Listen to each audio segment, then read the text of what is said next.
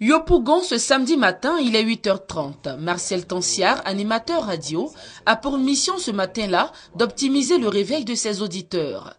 Mission échouée, pourrait-on dire, pour cet agent de radio de proximité.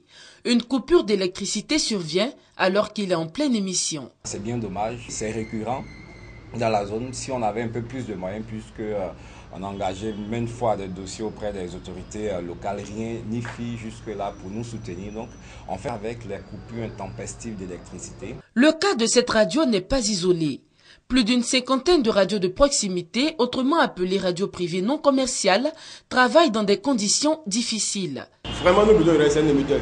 Et puis, vraiment, si on peut avoir un boucle électrogène et puis un stabilisateur, pour pas qu'on puisse euh, avoir les, les, coupures de courant. Pour y remédier, l'Union des radios de proximité de Côte d'Ivoire, URPCI, organise sa sixième assemblée générale.